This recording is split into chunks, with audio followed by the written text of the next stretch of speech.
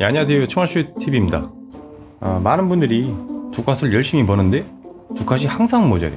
유럽에서 하는 무역이나 아니면 카리브 무역을 많이들 하시고 두컷을 버는데 맨날 같은 것만 하면 지걸 수밖에 없어요. 그래가지고 뭐 어디 좀 괜찮은 데 있으면 궁금한 분들이 계실 텐데 인도는 조금 투자가 필요하고 그나마 좀 괜찮은 데가 아프리카라고 생각을 하는데 그래서 오늘은 보시는 분들이 참고를 하실 수 있게 서아프리카, 동아프리카, 남아프리카를 비교해보고 또 아프리카에 가서 얻을 수 있는 항해사 정리해 보도록 하겠습니다. 아프리카에 항해할 수 있는 제한은 서아프리카는 레벨 25에 내파 10이 되면은 요 두알라까지가 서아프리카에 갈 수 있는 지점이고 레벨 30에 내파 20이 되면 이카파까지 갈 수가 있어요. 저도 그 상태여서 레벨업을 했고 이제 동아프리카를 갈 수가 있는데 이 앞쪽은 레벨 35에 네파가 35 돼야 들어갈 수가 있어요 음, 저도 지금 살짝 부족한 상태인데 이걸 채우는 방법은요? 이거 강화 무쇠닷을 구입하시면 되는데 이게 좋은 이유는 네파도 붙어있고 돌파까지 붙어있어요. 그렇기 때문에 돌파를 맞추기도 좋고 네파를 맞추기에도 굉장히 도움이 돼요. 판매하는 곳은 이 아리스칸다리아 라든가 콘스탄티니 그리고 뭐 서아프리카의 팀북투 이렇게 판매를 해요. 구매를 하셔서 채우시면 이 네파는 완료가 되실 거예요. 유럽에서 매입을 해갈 물건은요? 상트에서 보드카 리가에서 보드카 스톡홀름에서 아카비트 비스비에서 아카비트 쾌베나온에서 아카비트 포로닝원에서 진 유리구슬 베넬들에서 유리구슬 암스텔담에서 진 유리구슬 런던에서 위스키나 강철 도버에서 강철 위스키 플리머스에서 강철 더블린에서 위스키. 이 정도예요. 각 국가마다 살 수 있는 게 있고 못 사시는 게 있을 거예요. 네덜란드 같은 경우는 이 영국에 있는 거 몇 개를 못 사고요.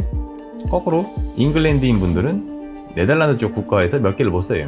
서로 몇 개씩 구매를 못 하지만 대략 불러드린 거 매입을 하셔서 아프리카에 팔면 될 것 같고요. 적재량이 남는 분들은 이 세비야에 와서 서양대포나 화성총을 구매하셔서 내려가시면 돼요. 먼저 유럽에서 사온 거를 서아프리카에 그나마 좀 깊숙이 있는 팀복투에 판매하는 가격은요 대략 180만 정도 수익이 남아요. 이번에는 동일한 물건을 가지고 이 남아프리카 끝에 있는 이카파에 왔는데 여기에 판매 가격은 238만 9천 대략 240만 정도 수익이 되네요. 쉽지 않네요 여기도. 이제 마지막으로 동아프리카 지역에 이 마사와에 왔는데 마사와에 온 이유는 이 동아프리카 지역에서 유일하게 주류가 팔려요. 저는 이제 주류를 들고 왔는데 여기 가격이 꽤 괜찮죠? 어, 440만. 그러니까 여기까지 동아프리카의 마사바까지 오게 되면 이제 동일한 물건을 가지고 440만까지 수익이 가능해요 이번에는 반대로 서아프리카에서 발트에 싣고 갈 물건인데 팀북트에서 다이아몬드, 금, 금세공 두알라에서 아프리카 세네 탕톰에서 마노 베냉에서 아프리카 세네 엘미나에서 공작석 아프리카 세네 시에라리온에서 아프리카 세네 이사우에서 아프리카 세네 베서스트에서 아프리카 세네 마지막으로 아르킨에서 금을 사가지고 올라가시면 되고요. 발트에 왔는데 상트에 팔면은 가장 좋지만 여기 이제 세금이 붙어가지고 그단스크에서 판매한 가격을 보여드릴게요 어, 대략 200만 정도 판매 수익이 나죠? 남아프리카에서 사갈 물건은요?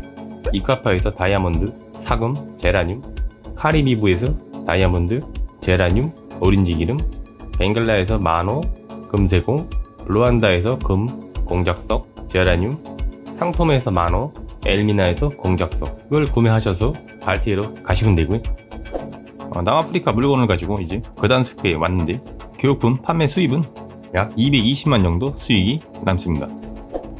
동아프리카에서 사갈 물건은요 지다에서 유향, 마사와에서 청금석, 아딘에서 유향, 피스타치오, 도파르에서 유향, 피스타치오, 무쿠디쇼에서 다이아몬드, 워라양, 잔지바르에서 워라양, 실바에서 워라양, 모산비크에서 백금, 칼리마니에서 백금, 소팔라에서 백금, 나탈에서 다이아몬드 백금을 사셔서 발티에로 출발을 하시면 되고요.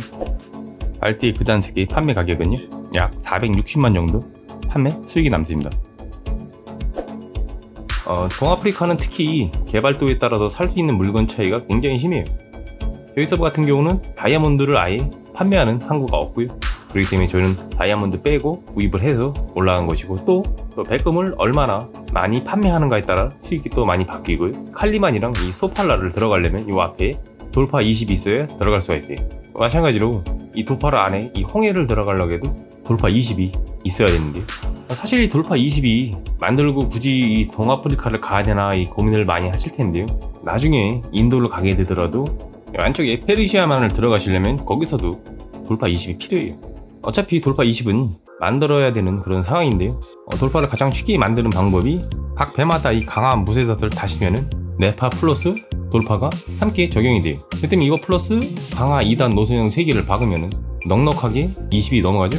근데 이 강화 2단 노즈형 쐐기가 매물이 얼마 없어요. 이게 쐐기 자체 매물이 없고 그냥 2단 노즈형 쐐기도 1200에 red gem을 하는데 어, 좀 다소 비싼 편인데 이걸 직접 구하는 방법은 이 암스텔담이나 런던 부근에서 육지 탐색을 해보면 이게 다 이게 최소 요구치가 5밖에 안 돼요 탐색을 눌러보면 저 같은 경우도 확률도 높고 도구도 쓸 필요가 없죠.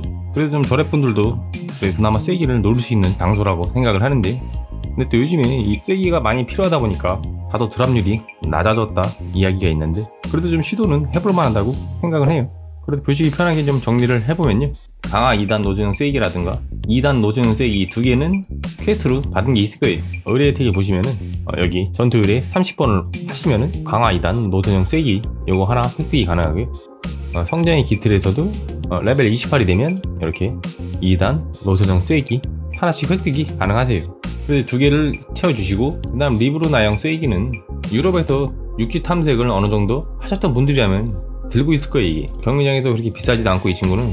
그래가지고 요거 하나 채우고 강화 무쇠단만 달아주신다면 2단 노선형 쐐기 두 개만 탐색으로 먹든 경매장에서 구매를 하든 준비해 주시면 바로 평균 돌파 20이 가능하실 거예요. 이렇게 맞춰 두시면 인도 갈 때도 써먹으니까 나쁘지 않다고 생각을 합니다.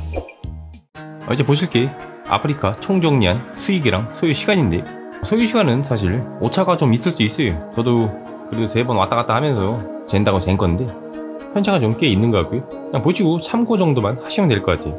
어, 서아프리카 같은 경우 왔다 갔다 하는데 왕복 한400 가까이 벌죠? 시간은 갈 때올때 포함해서 대략 한 2시간 잡으면 가능하시고요.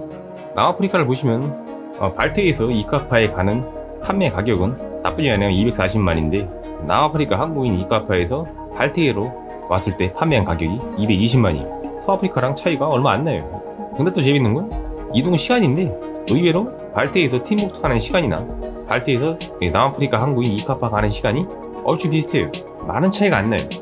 왜냐하면 팀북투 같은 경우는 이렇게 안쪽으로 들어가고 발트에 같은 경우는 그냥 쭉 뻗는 항로를 쓰다 보니까 의외로 두 가지 차이가 안 나요.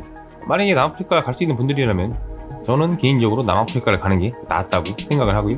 동아프리카는 당연히 거리가 있는 만큼 수익이 나쁘지 않죠 제작자도 주도 듣기로는 인도에 가면 어, 왕복 천만원이 훌쩍 넘어간다. 이야기를 들었는데 동아프리카 같은 경우도 천만원 안 넘어가는데 나쁘지 않은 수익을 보이는 것 같고요. 대신에 언급했듯이 동아프리카는 발전도에 따라서 수익 편차가 서버마다 틀릴 거예요. 참고를 해주시고 보시고 내가 지금 하는 항로보다 어, 시간 대비 수익이 낮다 생각하시면 한번 해보시면 나쁘지 않은 교육 항로라고 생각을 합니다. 네, 오늘은 이렇게 아프리카 무역 항로에 대한 총 정리를 해 보았는데요. 사실 앞에 언급했듯이 항해사도 정리를 했는데 아 영상이 너무 길어져요. 요거는 제가 더보기란에 첨부를 해둘 테니까 필요하신 분은 다운받아서 보시면 될 것 같고요. 네, 오늘 영상 여기까지 하고 다음번에 또 찾아오도록 하겠습니다. 감사합니다. 총알슛TV였습니다